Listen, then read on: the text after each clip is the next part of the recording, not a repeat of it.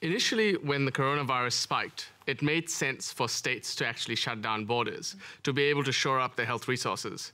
That time has now potentially passed, yet states refuse to open borders, driven purely by fear mongering and potentially politics. Surely having localized lockdowns and in regions should be sufficient. My question is what is the point of having citizenship or residency in a country if you don't have the ability to freely move within it or to trade within it? Uh, and you run a number of small businesses, don't you? I'm involved with a number of businesses, yes. Okay. Tania de Jong, how do you respond?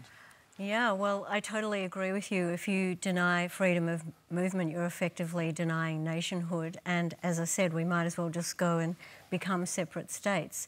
But I agree with you as well that we just need to focus on hotspots, on protecting the elderly and the vulnerable beautifully and caringly with love in our hearts because they need our care. And focusing on tracking, testing, quarantining effectively practicing COVID safe and letting everyone else go back to their lives and work. Do, do you accept, though, that closing borders, though, has protected vulnerable communities, particularly in mm-hmm. places like the Northern Territory, Western Australia, parts of remote Queensland? I, I do accept that. Absolutely, it has. But now we've reached a stage where we should be opening up, and there's. But, but what, what, evidence do you base that on? Because Melbourne. Well, we only it... have a handful of cases.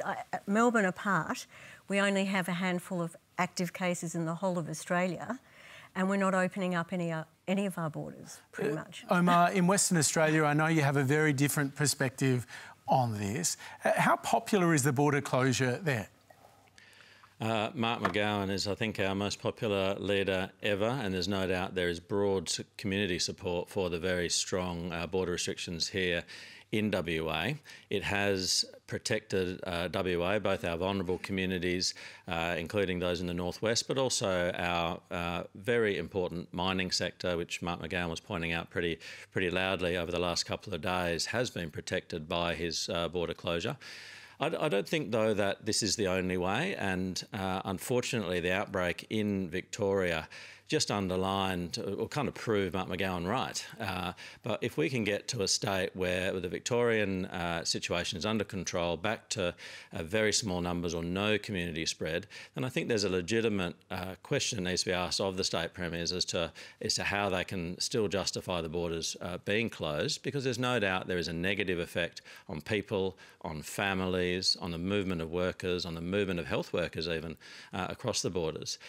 but you know, on the flip side, WA hasn't had 3,000 healthcare workers uh, being infected with COVID like Victoria. We haven't had over 500 elderly people die uh, in, in nursing homes. So the borders have protected us and they can't be just discarded because they're inconvenient. We've got to really look to cooperate, get some strong agreement between the states. Uh, and that means trust, trusting in other states' quarantine arrangements, in other states' contact tracing, because if one state uh, does the wrong thing, the rest of the country gets let down. So, At so, the moment, I don't see that trust there. So on that point, uh, Deputy Prime Minister, can the other states trust Victoria's contact tracing now?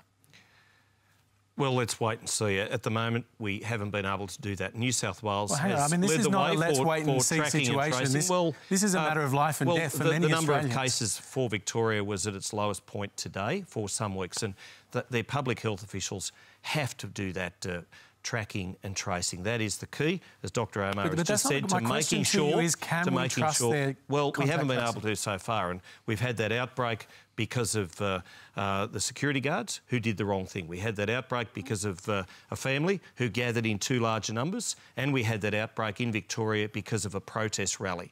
Now, appreciate that. Sorry, uh, what's the evidence of the protest rally leading to the outbreak? Well, there were three confirmed cases from one of those protest rallies that. Uh, and that, are you saying that's led to the to the outbreak? Well, now? it has. It didn't help the situation when, but, when sorry, the second you're drawing wave, a link that I'm not sure is substantial. Well, when the second wave occurred, they, they were the three reasons that were given. It was the uh, it was the security failure.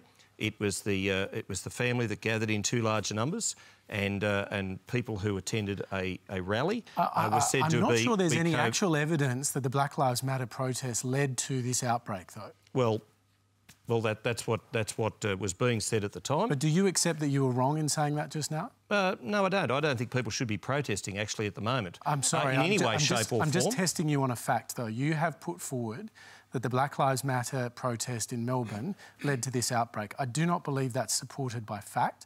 There were a number of cases of people that had COVID there, but there is no evidence well, that supporting can't that, have that helped. and, and given the fact that the public sorry, health officials need- uh, you- at, uh, in Victoria, their tracking and tracing was and not what to- it should be. Uh, who knows? They, you they don't that- know themselves. So I'm if sorry. there were people at that rally with COVID 19, and that has since been proven that they did have COVID 19 when But they went to that, that protest, not lead to they should not have been at that protest, But and nor should the protest have did not been. lead to this have- outbreak. and, and, you know, police resources have been used uh, un, un, unjustly. They should have been doing what their job is, and that is to ensure that law and order is being kept, rather than have to attend and, uh, and babysit a group of protesters who shouldn't have been protesting in the first place. Honestly. I think this is actually quite an important uh, point, though, with respect, Deputy Prime Minister.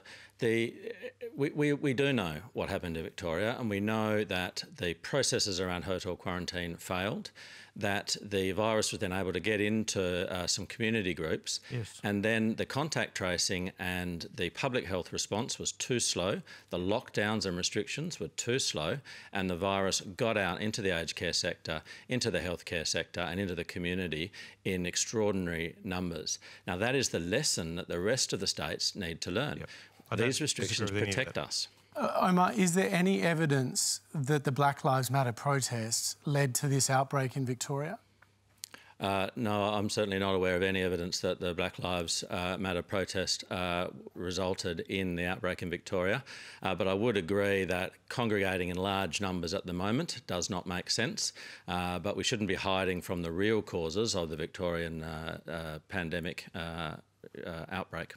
Kristina Keneally. I'm just a bit gobsmacked at what I've just heard from the Deputy Prime Minister, uh, trying to assert that this uh, second wave in Victoria is linked directly to the Black Lives Matter protest. I mean, that is just alternate facts, Trumpism, make up your own reality right there. There's no evidence for that. But you know what would really help the contact tracing in Victoria? If we had an app that worked. This COVID safe app from the Commonwealth was supposed to be our ticket to freedom. It was supposed to be our way out. It hasn't yet found one unique contact that wasn't already found by manual tracking and tracing. The New South Wales Opal card has done a better job at tracking coronavirus than this COVID safe app. And what I'm really frustrated by here is that you know we have a Commonwealth government that is responsible for the app, they're responsible for aged care, they're responsible for mental health.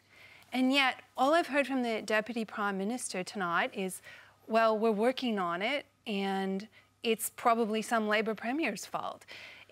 We are so far into this, and, and I think a lot of Australians who are getting frustrated and angry and wanting to go out and protest, whether it's about wanting freedom of movement or, or whatever else it is, is because they feel like there's no clear strategy or plan here in place. How do we get to a COVID normal? I think we all accept we're not going back to normal, normal.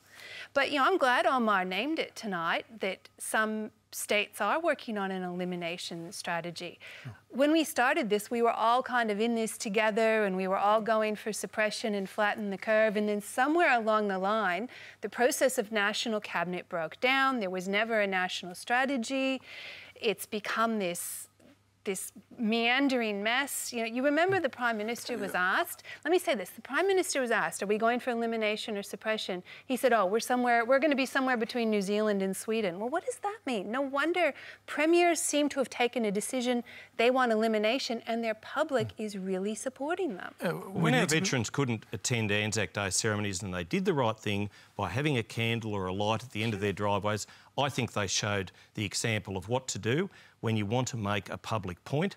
And I don't No think any of the arguing that. protests that, fo- have followed since then, when people wanted to make a public point, and good on them. That's that's why 102,000 names are on the War Memorial, so that people died, so that people could make a public point, so that No we could live in that. in freedom and democracy. Just one's arguing that. on the 15th of March, when the Prime Minister initially suggested that we should protect the vulnerable and the elderly and that we should focus on hotspots to flatten the curve, why has that changed all of a sudden without telling anyone? Like, where, where, where, how come we've not been told that eradication, of course, it's become obvious to us, by what's happening in Victoria. Like we can't eradicate until we get the vaccine. We, we just need to Yeah. we need to move on at this point. And I just need to stress that DHS in Victoria does say that there is no link between uh, those at the uh, protest, the Black Lives Matter protest with COVID, and the current uh, outbreak. Okay, well, I'll, I'll accept that, but people shouldn't be protesting. People should not be protesting.